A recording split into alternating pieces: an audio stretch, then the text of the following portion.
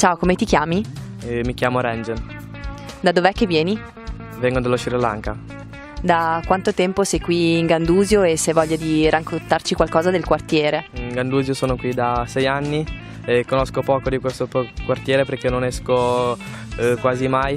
Eh, cioè, la mia vita la passo a scuola e come amici, essendo che loro abitano fuori Bologna, eh, sto di più a Reggio Emilia, in quei posti lì, quindi in questo quartiere non ci sto mai. Come posto eh, mi trovo bene perché nel mio, nel mio palazzo c'è gente simpatica, gentile, quindi ho un certo rapporto con loro.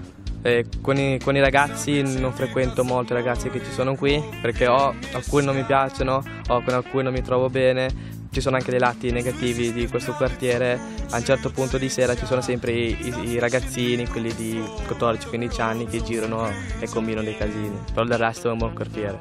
A cosa pensi quando ti dico Gandusio, via Gandusio, se c'è un'immagine che è nella tua testa? Quando ci penso non mi viene proprio niente in mente, è un posto come tutti gli altri, proprio un posto dove vivere, stare con la gente a contatto, a contatto, quindi cioè, non ho molte idee di questo posto. Eh, C'è qualcosa che nel quartiere ti ricorda o in via Gandusio che ti ricorda invece il tuo paese di origine?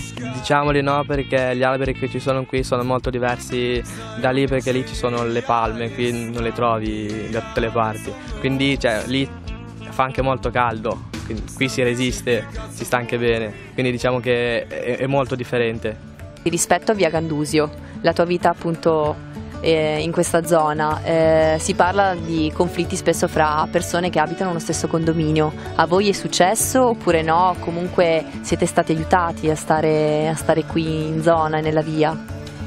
Eh, diciamo che i conflitti con eh, il nostro condominio non li, ho- non li abbiamo avuti, sono persone simpatiche, cioè quando siamo arrivati qui per la prima volta per un po' di tempo non abbiamo parlato con nessuno perché siamo, cioè, io e la mia famiglia siamo un po' timidi, soprattutto io, quindi siamo stati un po' a disparte, dopo un po' abbiamo cominciato a, parlare, ci siamo trovati benissimo, Eh, diciamo che qualche volta con delle pallettine ci può succedere dei litigi, ma dopo un po' basta, è- è normale che in tutti i quartieri ci sia qualcuno che litiga con gli altri, però dopo un po' si risolvono e si, va avanti. Quindi problemi gravi, seri, non li abbiamo mai avuti.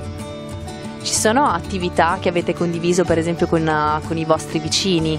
Eh, di solito eh, cuci- cioè, noi cuciniamo per loro, loro cucinano per noi, quindi diciamo che eh, ci cuciniamo a vicenda come una grande famiglia. Di solito nei palazzi grigi, quest'estate ho imparato che quasi ogni venerdì facevano da mangiare e proiettavano un film. Così loro stavano insieme, parlavano, discutevano dei problemi o anche di quello che pensavano loro, del popolo, anche del quartiere.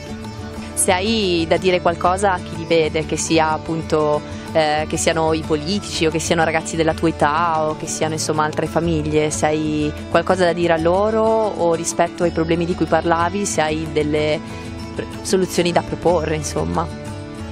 Diciamo di soluzioni non ce ne sarebbero perché comunque quelle che fanno queste bravate sono dei ragazzini, quindi cioè, sono ancora piccoli, hanno una mentalità diversa di quelli grandi, quindi crescendo si può imparare, e ai politici e altre cose del genere non ho niente da dire perché la politica non mi piace granché, non la seguo neanche, quindi desiderio, cosa vorresti per questo quartiere?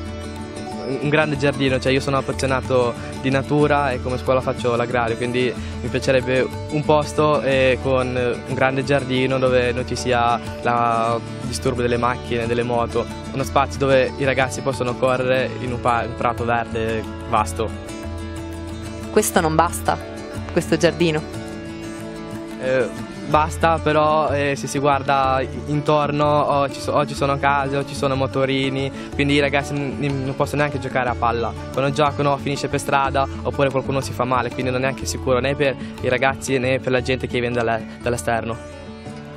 D'accordo, ok, grazie.